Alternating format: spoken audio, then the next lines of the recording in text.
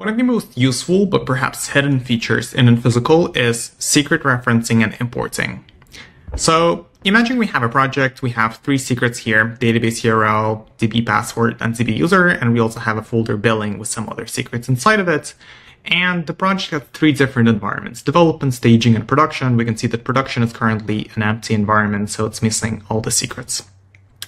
If we go explore the development environment, we can see the database URL is actually referencing other secrets. You can see that this is a typical MongoDB uh, access token, and it's referencing DB password and DB user from the current environment. Now, right now, the value of DB password is password and the value of DB user is user. So what this means is that the database URL will be mongo slash slash password colon user and, and so on. Now, if we change the value of database password to 123, this value will also be propagated to the database user. In other words, you only need to update the value once and it gets propagated to all the references out there. Now, imagine we want to go explore the staging environment. You can see here that the database URL is referencing the database URL from the dev environment. So how that works is now, whenever you update the database URL in the dev environment, or whenever you update the database password there, these values get uh, propagated to the staging environment too. So you, again, you only need to update it once, and then it gets propagated across all the references across your infrastructure. Now, it gets even better because if you go in the billing folder, here we have a Stripe key. So how that works is that this value of the Stripe key is actually being referenced from the development environment in the billing folder, uh, there is another Stripe key. So whenever we update uh, a value in that folder, in that environment, this value gets propagated further.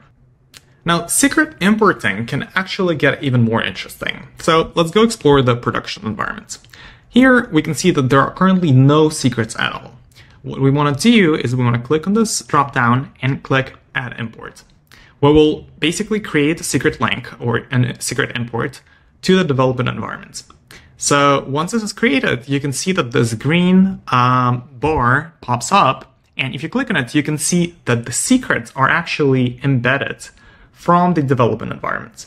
What this means is that not just the values, like with referencing, but the whole secret, the key and value pair, are actually embedded from the development environment.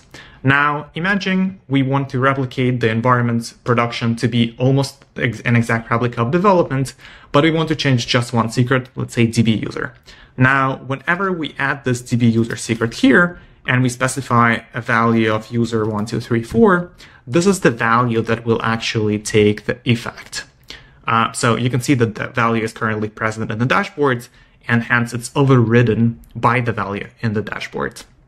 So in other words, secret referencing in Infisical serve to reference the values of secrets, and then as soon as you update the value of a particular secrets, it gets propagated across all of the infrastructure.